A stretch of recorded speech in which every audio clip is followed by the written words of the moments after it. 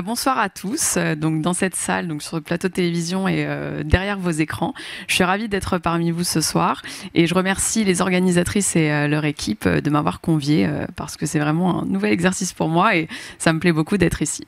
Donc aujourd'hui, je vais vous parler d'orthodontie et ces dernières années, ce qu'on a remarqué, c'est que les patients ont une demande qui a explosé au niveau de l'esthétique du sourire. Et en fait, il y a une vraie prise de conscience que l'esthétique du sourire, c'est vraiment important euh, pour la vie de tous les jours. Et parallèlement à ça, on a eu euh, des techniques qui ont euh, beaucoup progressé en dentisterie de manière générale, mais aussi en orthodontie. Et maintenant, on a des solutions qui sont compatibles avec la demande des patients.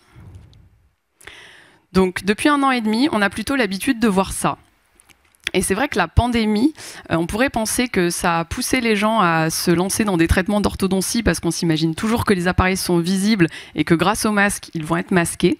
Mais en fait, ça a eu l'effet inverse. La pandémie, déjà, ça a mis les gens face à leur image, que ce soit euh, en FaceTime, en Zoom, en selfie. Euh, voilà, on s'est beaucoup regardé. Et il y a eu toute la demande esthétique de manière générale qui a explosé. Et du coup, forcément, au niveau du sourire, aussi. Et les patients sont très demandeurs euh, d'améliorer leur sourire et en orthodontie, ils demandent des techniques qui ne soient pas visibles. Alors aujourd'hui, je vais vous présenter la technique qui a révolutionné ma pratique. Et cette technique, c'est ça. C'est l'orthodontie linguale. C'est un appareil qui ne se voit pas, donc qui est esthétique et donc qui répond à la demande des patients, mais pas que. C'est pas son avantage, euh, son seul avantage de ne pas se voir. C'est une solution qui est sérieuse et qui permet de traiter toutes les malocclusions que l'on rencontre en orthodontie. Déjà, c'est un appareil qui est entièrement individualisé, c'est-à-dire qu'il est sur mesure. Les attaches, comme les arcs orthodontiques, sont sur mesure.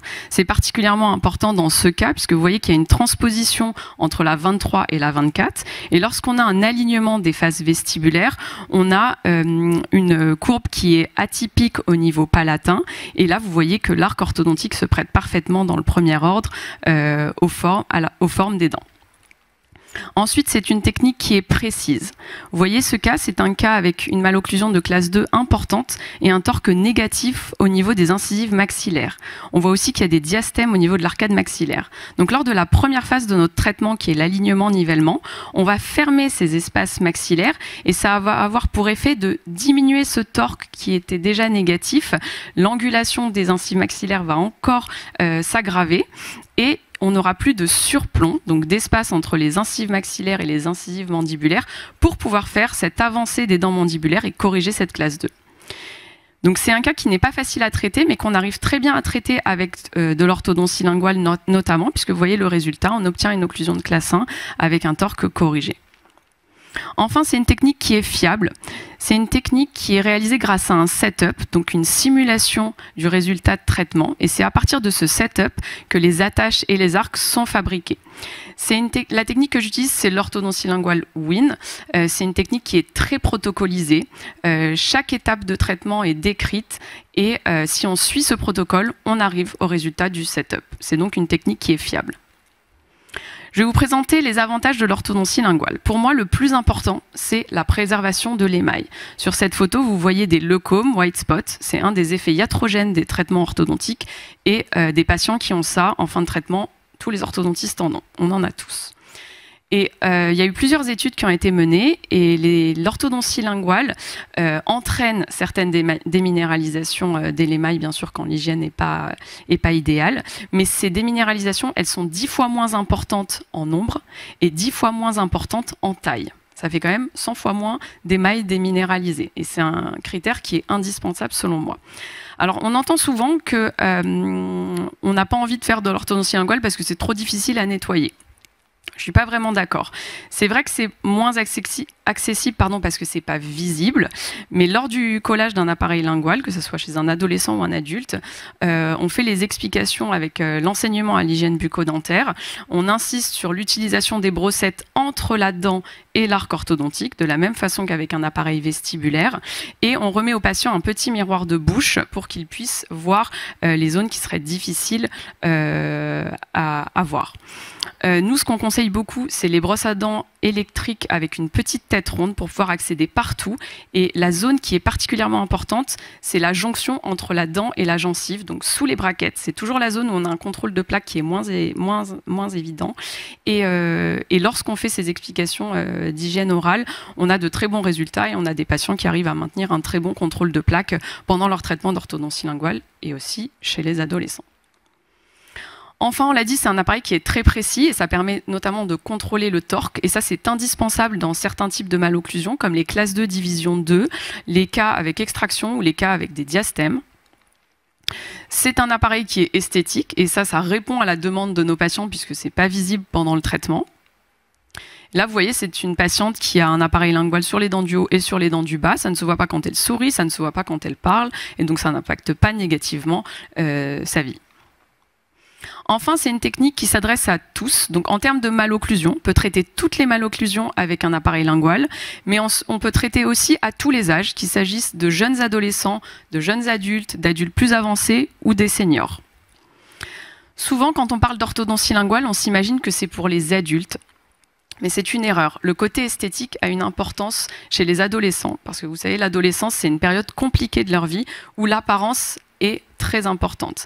Et ça, c'est une étude qui a montré que l'orthodontie améliore l'aspect psychologique et l'estime de soi chez les adolescents. Donc, c'est des patients qui sont demandeurs d'un traitement orthodontique parce qu'ils veulent corriger euh, leur malocclusion et avoir un beau sourire. Mais souvent, ce qui les freine, c'est la visibilité de l'appareil pendant souvent plusieurs années.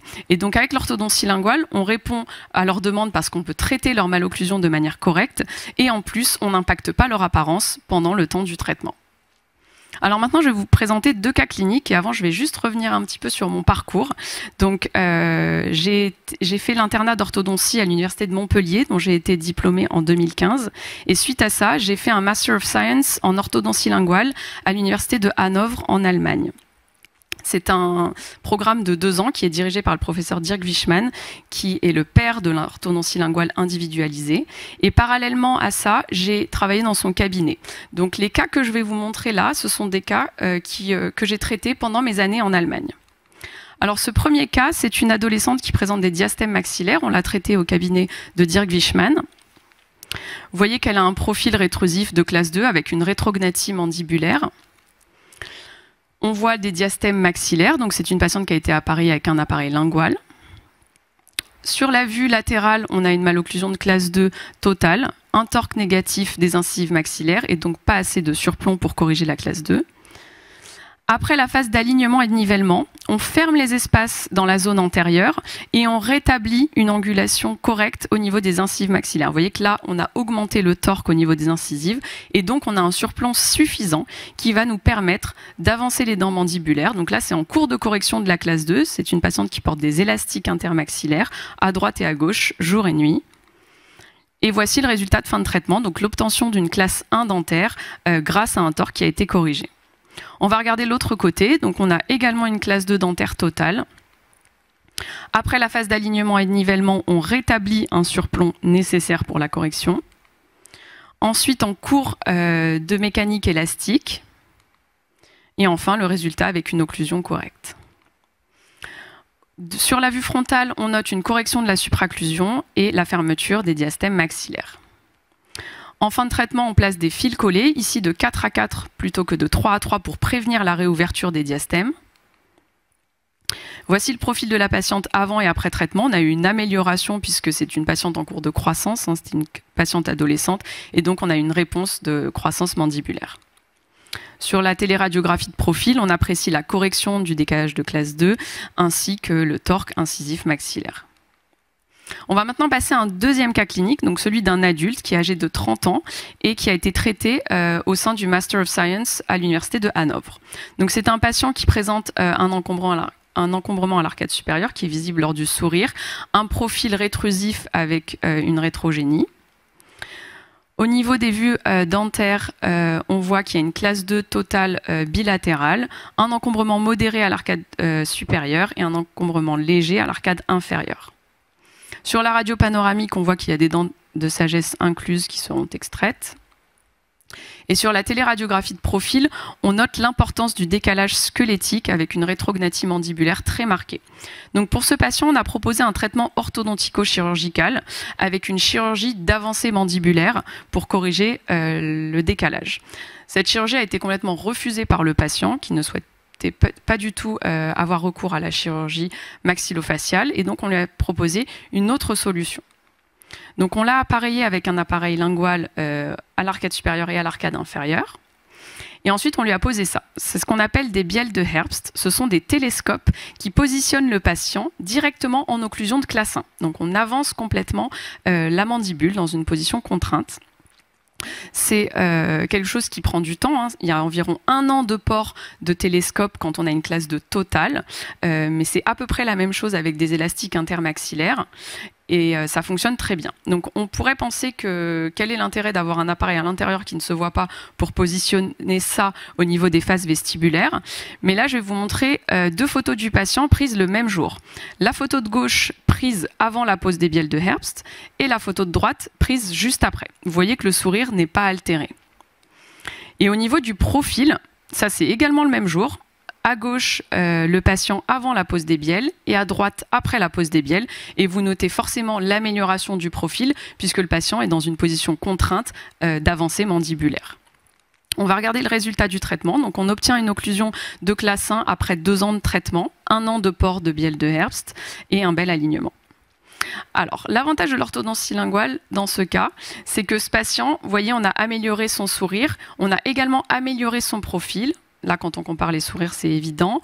Les profils également. Forcément, on n'a pas un profil idéal parce qu'on euh, n'a pas eu recours à la chirurgie, mais il y a quand même une amélioration puisqu'on a amélioré le rapport interincisif et euh, le décalage sagittal.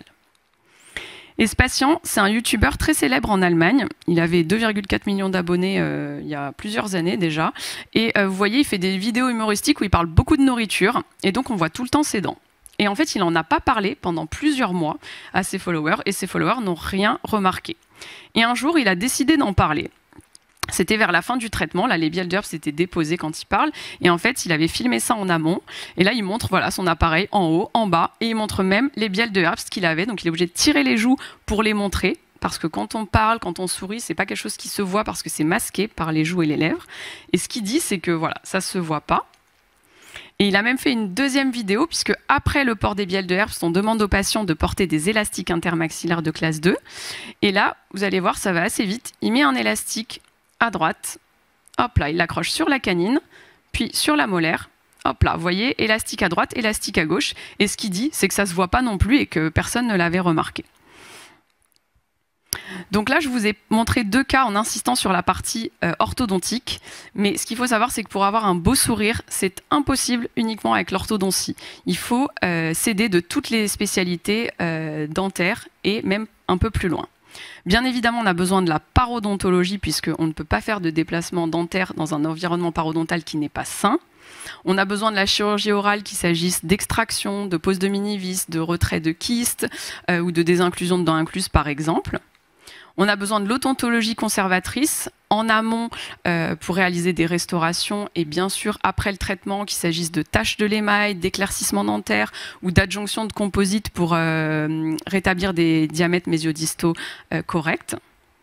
Bien sûr, on a besoin de la prothèse, qu'il s'agisse de restaurer les dents pour pouvoir les appareiller ou de facettes, par exemple, en fin de traitement pour corriger une disharmonie dento-dentaire. Bien évidemment, l'occlusodontie euh, pour avoir un environnement articulaire sain. Lorsque l'orthodontie rencontre des limites, on cède de la chirurgie maxillofaciale, notamment avec la chirurgie orthognatique pour corriger les gros décalages euh, squelettiques, ou encore les génioplasties pour permettre la stabilité du traitement. Et enfin, bien sûr, on travaille beaucoup avec les kinés maxillofaciaux, qu'il s'agisse de rééducation de la langue pour garantir la stabilité d'un traitement ou de diminuer des douleurs faciales ou de diminuer un bruxisme important. Donc, euh, l'orthodontie, c'est bien, mais pour avoir un beau sourire, c'est clairement pas suffisant. Il faut une équipe pluridisciplinaire pour un beau sourire. Et maintenant, je vais passer à la deuxième partie de cette présentation. Je vous ai montré la technique qui a révolutionné ma pratique et maintenant je vais vous parler de la conférence qui a révolutionné ma pratique. Et c'est celle-ci. Donc je remercie Brenda d'avoir magnifiquement introduit le sujet sans qu'on se concerte.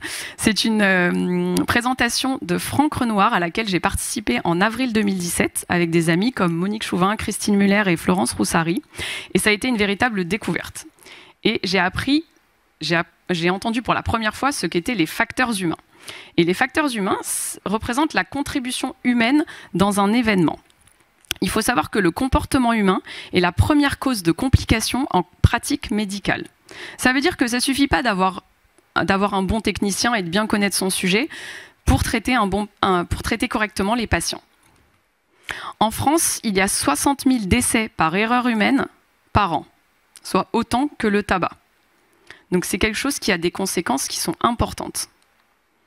Quand un chirurgien opère le jour de son anniversaire, il y a plus 23% de complications mortelles. C'est donc que notre cerveau nous joue des tours pour réaliser des actes, même parfois des, actes de routine. Et donc, le facteur principal qui nous joue des tours, c'est lui, c'est le stress.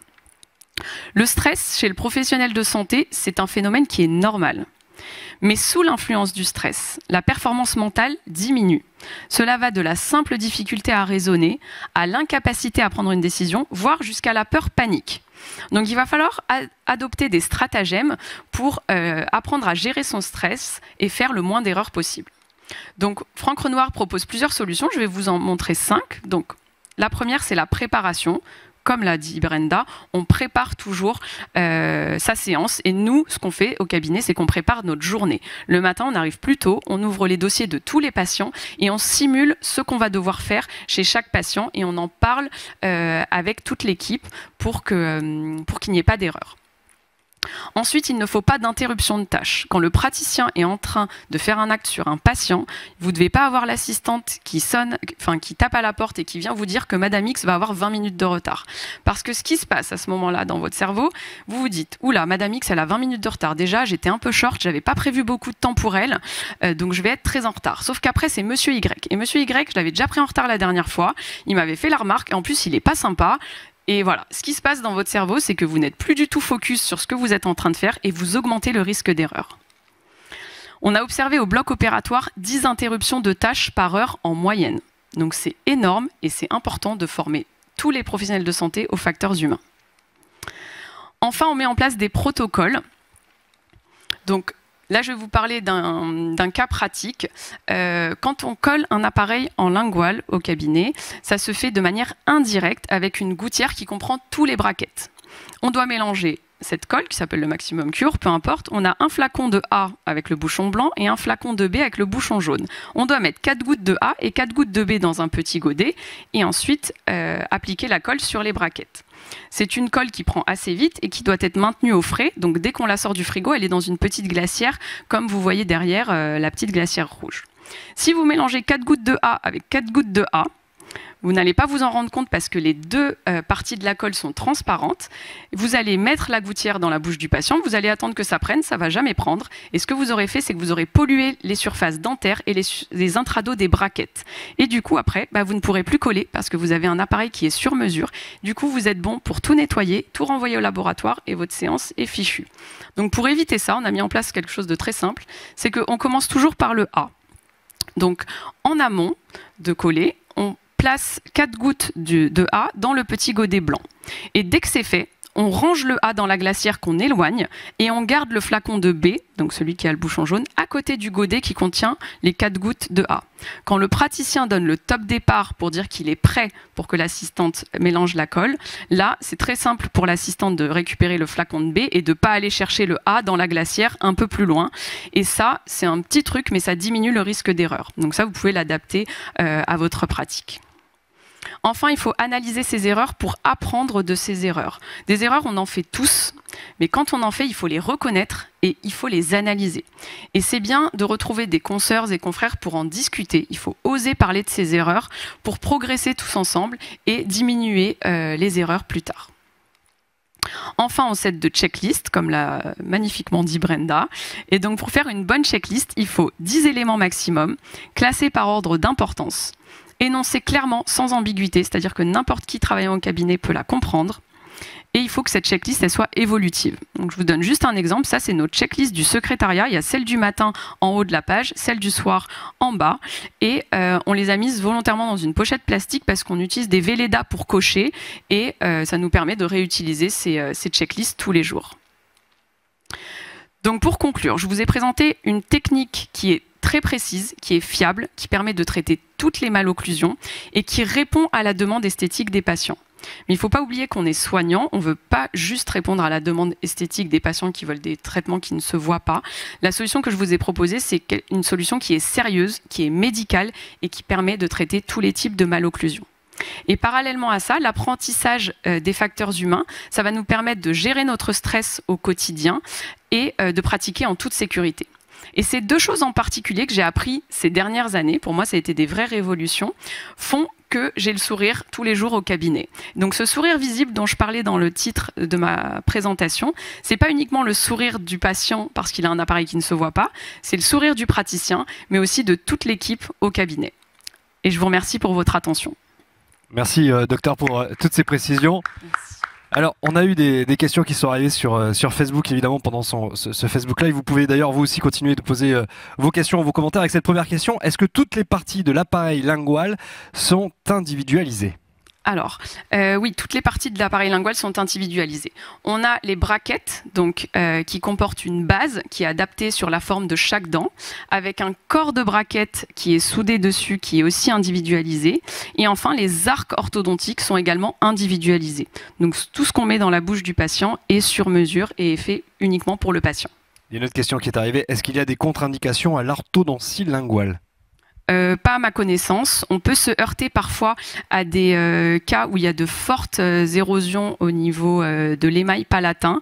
donc si on n'a plus d'émail, on arrive sur la dentine. C'est pas une contre-indication pour autant.